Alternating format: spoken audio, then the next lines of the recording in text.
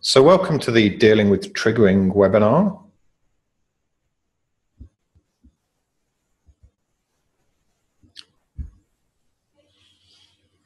So, I'd like to point a couple of things out. I offer sex and relationships guidance to men and women, typically through three or six month packages, which give a great opportunity for some substantial personal transformation. And if you have any questions during the talk, uh, just pop them up uh, in the chat box. Uh, you'll probably find a little chat button somewhere in one of your windows, and you can click that, and the dialog will pop up, and you can talk to me.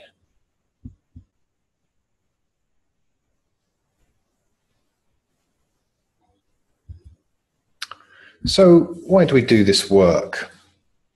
Well, I'm, I'm hoping to help people build ecstatic relationships, really good, really deep, and really pleasant and intimate experiences with their loved ones. And also, of course, I'd like to avoid uh, heartbreak and, and uh, difficult feelings that can arise from uh, bad relationships. And it's because we'd like to be seen in these relationships and not trapped in them. And we'd like to be more present in the moment. So we're having a more real time relationship. And we'd like our relationship to be deep and authentic. So they're really about us and not uh, prior problems and issues we've had that um, kind of can dominate relationships when they're not dealt with. And it's also an opportunity to sort of discover more about yourself and remake yourself. Uh, this is this process of, of becoming more authentic. And the bigger, the bigger thing, uh, the gain that uh, hopefully we can get out of this is to actually make the whole world better. So we all become better at relating, we all connect better, um, and we have more opportunity with, for, for love and for a peaceful world. So what's what's a trigger?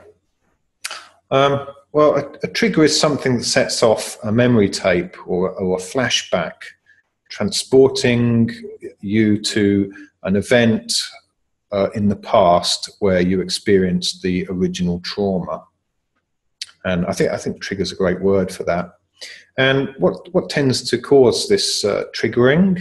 It's usually a familiar situation plus some other sensory data. So this could be uh, typically a sight or a sound, um, or it could be uh, less likely to be a touch or a smell, and then finally it might even be a taste. Uh, so any of these things put together uh, can create a trigger, and then the person gets this sort of flashback, and this the flashback may not be like a visual thing, um, like you might get with with uh, taking uh, drugs or something like that. It, it, it, may not be like a hallucination or, or visual, um, but the flashback can be in the body or in the mind, or words might come back to you. So uh, we mean flashback in a sort of a more general sense.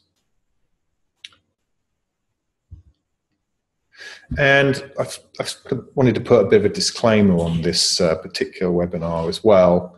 Um, some people have had traumatic experiences that are, are um, uh, quite um, deeply uh, damaging to their to their personality, um, and they have have uh, very bad wounding to their to their psyche.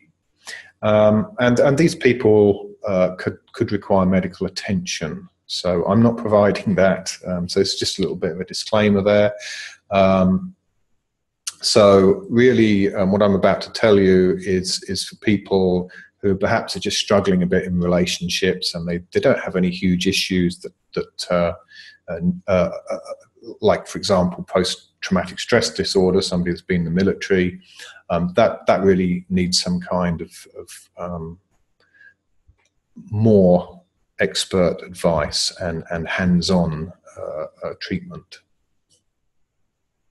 But nevertheless, uh, most of us have experienced trauma, both physical and emotional, uh, typically as, as children, and this includes things like smacking, bullying, name calling, uh, harsh criticism, gaslighting, bit of a technical word. If if um, one of your carers, one of your parents was was sociopathic or narcissistic, then it's possible that they've engaged in quite a long uh, or prolonged um, series of of attacks on your personality uh, to, to sort of break you and, and manipulate you and make you more controllable.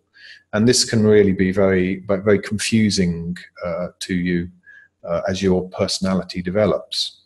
And, and neglect as well uh, can also lead to trauma. Now, I mentioned things like post traumatic stress disorder and other more serious uh, examples of trauma, rape, for example, um, that, that, that will probably require some professional help.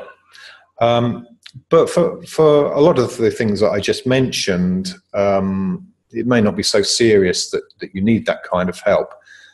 Uh, but it, it, then it becomes insidious. So you, you may not be aware um, that you have have this trauma uh, because you're kind of just getting on with life and it's it feels kind of normal. Um, so you know you don't have all these extreme reactions, but nevertheless um, you'll still have these overwhelming emotions um, that that prevent you from coping well in in the trigger situation. Um, and, it, and, some people will will just be unaware of this uh, going on really um, I mean, they'll experience it, but they, they won't really have any sort of conscious um, uh, way of, of, of, of, processing it. So it will just sort of happen like a completely like an autopilot. Um, and if they're challenged on this and made aware of it, uh, then it's possible they'll go into denial of some kind. They'll say, "Oh, well, it's normal. You know, my parents did this all the time. Uh, you know, everybody's relationships are like this." Um, and it's just not true. Uh, I've never had a row with my current partner, been with her many years, and we have a very peaceful and cooperative relationship. Um, and this, this makes us both feel very safe. And, and so um, these, these old stories really aren't, aren't true at all. And there's certainly work we can do to, to improve things um, in, when relationships are challenging. So, uh, another quote uh, from Diane Renz here, um, and I will read this uh, straight out. When we are triggered emotionally, it can all feel sort of choiceless, like we've lost control of ourselves. Even if we have the awareness of our reaction, it is difficult to stop our emotional response because the nervous system, the brain, the memory centers are all interacting. Uh, so, like I said before, it's almost like a possession that comes over you, um, and you're not able to to rationally sort of control what you're doing.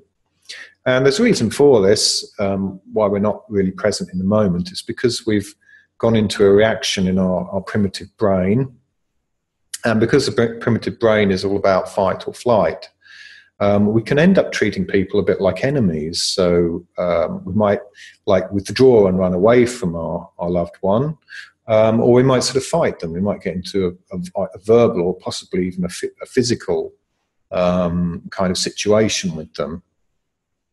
And of course, this is really challenging and, and possibly very disastrous for uh, an intimate relationship because um, intimate relationships need us to be able to be in responsive behavior rather than in reactive behavior. And responsiveness means we're, we're in control of our behavior and, and aware of what's going on. So, what can we do to manage triggering? Um, this, this is, these are really coping strategies. So, we can avoid uh, and, and thereby stay away from the trigger situation.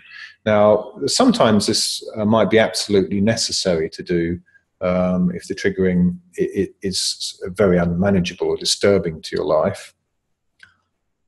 Uh, sometimes it's not practical, and sometimes it's not desirable either because you end up not actually working through and resolving the problem. The other one, another one, is to contain uh, the issue. That's to sort of um, try and, and, and, minimize it and, and keep it manageable uh, so it doesn't go to sort of a, uh, the explosive uh, escalation stage. And commitment in relationship can be really helpful as well. A lot of triggering uh, comes from uncertainty or doubts or fears about the status of the relationship. Um, so that's that's really another uh, approach to containing, but a slightly different one. Um, and you can do that by clarifying what you want to give. And also, empathy is really helpful as well. Empathizing uh, with the person that's been triggered, um, uh, the person who's been triggered, empathizing with themselves, uh, and there's there's approaches uh, to facilitate uh, uh, this process. But finally, is sort of the the big one uh, is to re- rewrite the reactive style of rea- relating. So we actually um, really become present in the moment, and we, we use these different techniques uh, to to actually rewrite the way our brain processes the trigger situation, and that takes the situation from a win-lose one because it's because the uh, fight or flight always has like a winner and a loser to a win-win situation. So uh, both people involved uh, learn something new about each other and and uh, step up and advance in the relationship and gain more intimacy. So let's go through some of these.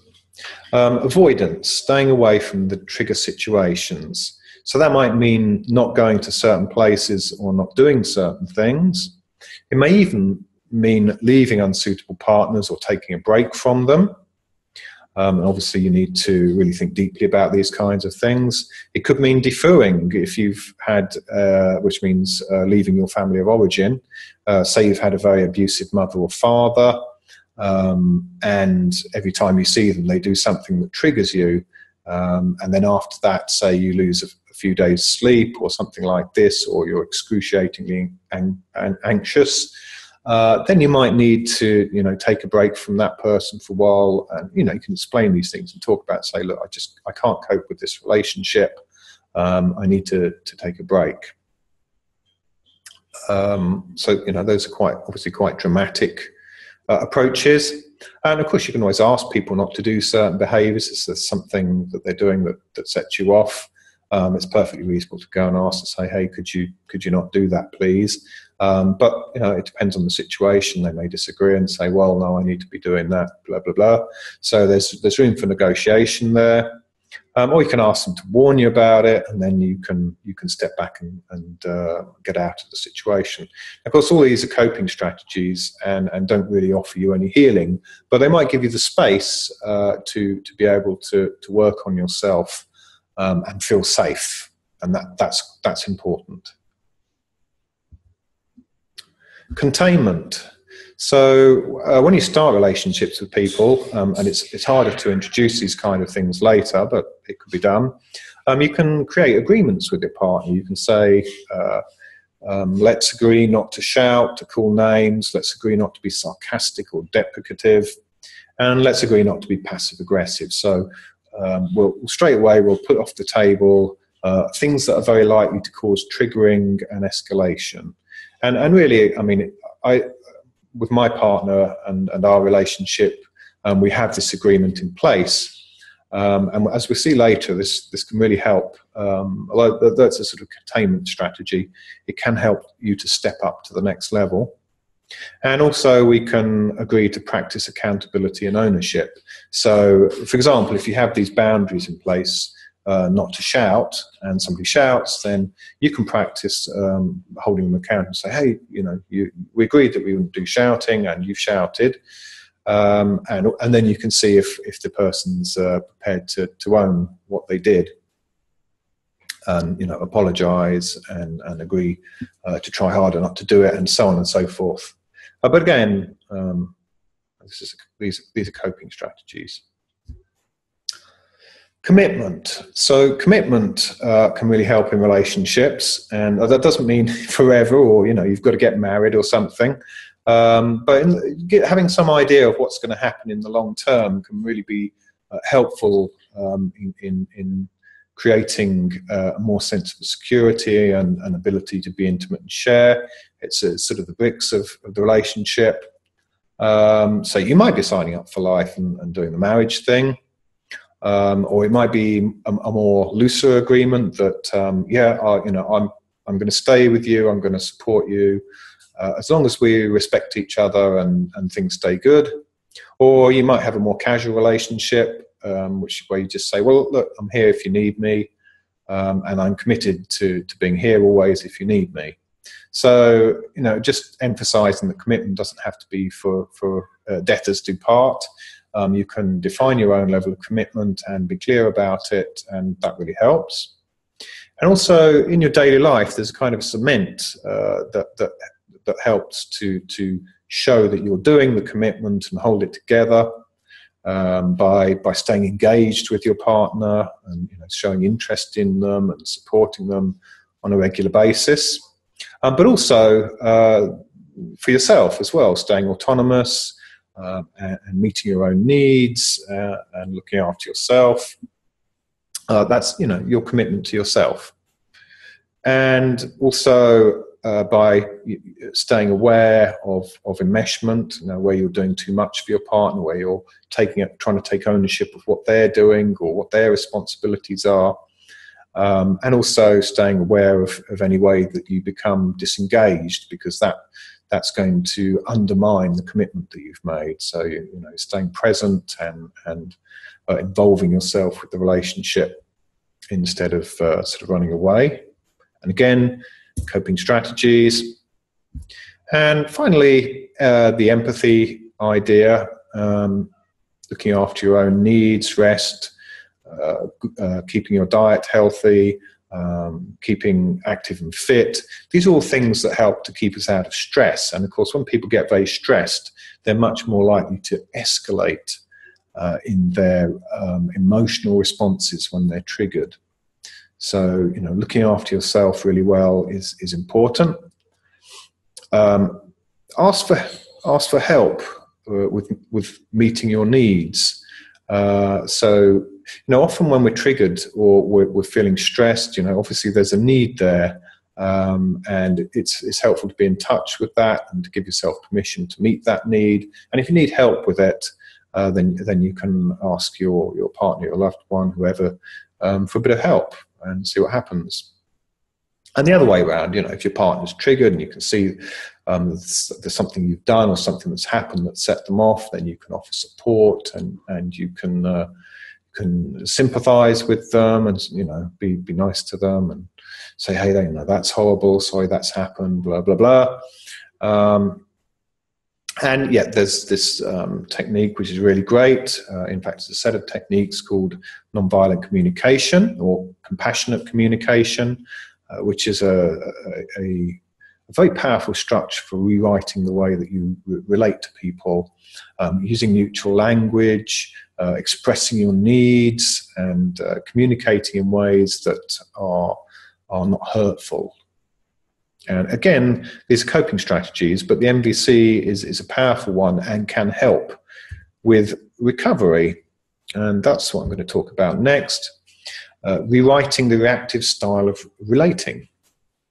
So um, when we're triggered uh, into this sort of reactive behavior, um, what's happening is we, we, we sort of transform from a being controlled by our, our cortex or our sort of higher brain into the limbic system and, and the more primitive brain functions. Um, and these, these control things like the fight or flight response. And so we experience this uh, very, very real disconnect uh, when we're triggered. Um, and so the way to undo this is, is to reconnect these parts of our uh, neuro, neural pathways, our, our, neurobiology. And we do this, um, I think, quite effectively through practicing body awareness. And what we're trying to do is basically resist these reactions. So, when I mentioned before about things like having boundaries, uh, to not shout and stuff like that, that that helps not to resist. And when we have things like the NVC, Um, we have, and we know we have tools available to to do more compassionate relating. All these things help us to be effective in resisting uh, the uh, going into the trigger state. And eventually, over time, what can happen is that uh, this practicing this resistance reinforms uh, our emotions, and it, and then that reinforms our perceptions. So we start to sort of rewrite our reactive uh, process into a more responsive process, and it, it, can take a while to integrate this. Um, so let's let's just go into that a little bit more. So how do we develop and practice body awareness? Well, it, it, it's a real time thing. It starts um, in the moment when you're having the feelings. So it, it, begins when we really start to notice what these feelings are. You know, oh, I've been triggered. I'm feeling a shortness of breath. I'm feeling like I'm having a hot flush. Uh, I'm feeling like time has slowed down. So we're noticing these things going on in the body and with our sense of uh, perceptions. And then it's helpful in real time again to describe them and actually to say those things to ourselves, to our partners, and, and say what the emotions are that are coming up. Oh, I'm feeling a shortness of breath. Um, oh, um, I'm I'm feeling anxious, and then uh, ah, now I'm feeling angry. So this helps um, the people that are around us to understand what's going on, and of course, it helps ourselves to understand what's going on. And this this is part of the sort of the reinforming process. Um, and also, there's a sort of a bigger picture around this as well of avoiding desensitizing your body because you, you really need to, to have these in body experiences um, and know what's going on and connect with them. So uh, there's things to avoid, like using, um, which means drinks and drugs, or, or overeating, um, you know, binge eating, uh, treating yourself. Often these are sort of um, ways that we sabotage having our feelings. So um, you know, we, we adopt behaviours which block us from actually recovering from whatever this trauma or damage was and, and, and the consequences uh, that we've been left with.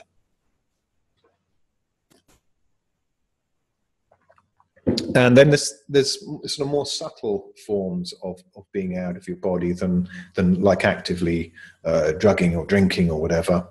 Uh, things like sh- overstressing, uh, working too much, exercising too much, all things that really uh, uh decrease the energy that we have available uh, to do feelings. And uh, things to help um, as well, like meditating regularly or, or some form of, of, maybe self hypnosis or something like that. And also, uh, you know, if the triggering is more profound and, and, you struggle to deal with it in the moment, and it's quite a difficult one, then there's things like writing about your experience and, and you know, writing them down, recording them, uh, maybe sharing them with somebody that you really trust, and that, that will help you to work through whatever's going on.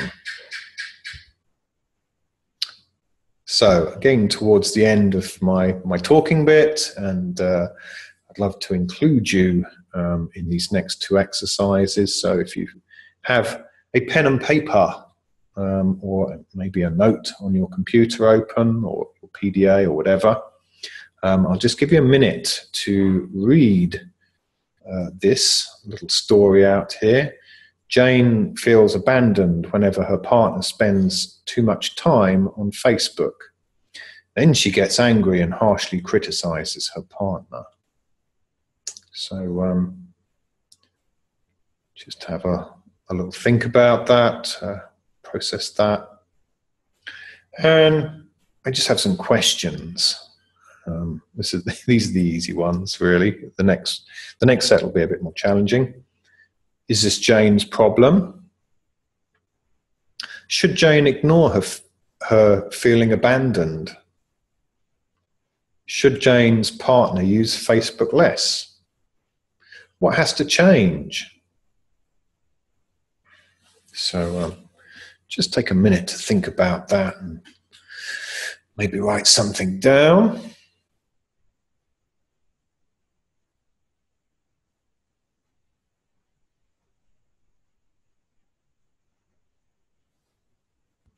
And I've put down a few of my own answers to these. So, is this Jane's problem? Well, no, it's a relationship problem. it's affecting uh, at least two people. Um, but it does look like it's it's Jane's problem. Um, she's the one experiencing the abandonment, and you know, looking at Facebook a lot isn't abusive. Could be neglectful, um, but on the face of it, uh, it looks like Jane's problem, and she needs to own it. Should Jane ignore her feeling abandoned? No, of course not.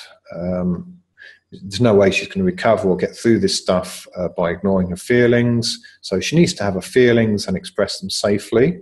And so, um, as I've mentioned before, um, this is this uh, process of becoming more aware of what's going on in the body and all the things that support that. Um, and there's things like NVC and, and, ways of learning to express safely uh, what's going on for you and, and actually turning this around in, into an opportunity um, to learn something about each other and to move into something deeper. Should Jane's partner use Facebook less? Well, this this really these kind of things are really are negotiable, um, and you do need skills, uh, negoti- negotiating skills to deal with this kind of thing.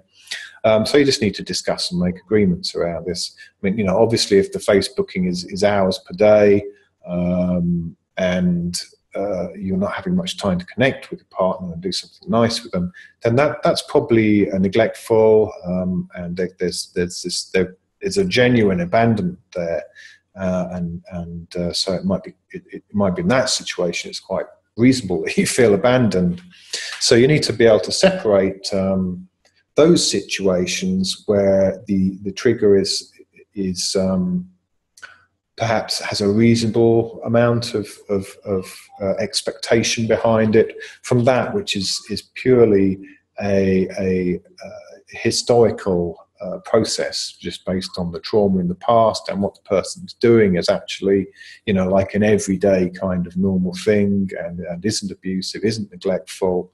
Um, it's actually okay it's objectively when you look at it reasonably rationally an okay thing um, then you can you know you can come up with some kind of, of, of agreement um, around it. And you know it might be quite nice um, in any case and essential perhaps to to have some kind of agreement in place on how much time you do these kind of things for, so um, you're clear around it. So what has to change? Well, what about avoidance? Um, hmm. Should Jane's partner avoid using Facebook? No, I don't think so. We've got the uh, negotiating thing there. Uh, again, as I said, um, it's up to you to, to, to come up with the agreements around that and what you think are reasonable expectations. Uh, boundaries, well, yes, that's that's something here. There's potential for that. Um, there was some harsh criticism, so uh, there should be a boundary around that, in my opinion. Uh, criticism should be constructive and helpful. Uh, that way, we will grow. Commitment. Well, yes, we could we could engage a bit more of a commitment there. We could commit to uh, Jane having more time with her partner, so she doesn't feel abandoned. Um, get, getting the partner to, to commit to that. Uh, empathy. Um, well, of course, uh, if you're harshly criticizing somebody, that shows a lack of empathy. Um, so, as we said, we have the boundaries in place, and uh, that that can help to prevent that. Um, also, the partner can have more empathy and say, "Hey, you're you know you're feeling." You, uh, how, why are you acting like this? Um, why are you why are you having these difficult feelings? And then there's well, maybe you can go into the story. Oh well, you know, uh, Jane says, well, uh, you know, my father um, and mother divorced, and uh, he left, and I never heard from him again and uh, that made uh, I re- that was re- really a lonely experience that I had after that. So again, there's this process through empathizing with each other, which allows for, for growth and and uh, allows you to um, integrate the experience and, and uh, rather than sort of suppressing it and, and forgetting it. And yeah, we can we can we can get involved in this recovery process of, of using uh, the awareness of the body, um, to integrate these past experiences. So those are my answers. Um, let's have a look at something a little bit more personal, just to sort of wind up uh, dealing with triggering. Uh, so again, if you have your paper and pencils ready, your notepads, etc., what situations trigger you? So what makes you angry? What makes you upset? What makes you panic? How do you feel in your body when these things happen? Do you feel short of breath? Do you feel numb?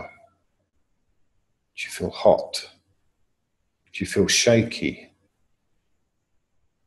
So, physical feelings. And when you get these feelings, what are the associated emotions? Does some anger come up for you? Resentment? Fear? How do you react? Do you shout? Do you hit? Do you run away? Do you write a stinking email? Do you call your friend and have a rage about what happened? And then, how would you like to respond? What would you like to happen instead of that reaction process? Um, maybe underneath this, there's a need as well. So identify identify that need. What are, what are the needs? What's missing in that situation? What would make you feel better? And the last question: Who can help you? Is there somebody? Is your, can your partner help you? Can you help you? Uh, is it a bit too big? Do you need to see a psychotherapist? So always something to be considered. Uh, there, that's an option too. So that's pretty much it for dealing with triggering. And we're on into questions and answers. And hopefully, the uh, questions I've asked you have, have stimulated some some uh, ideas for you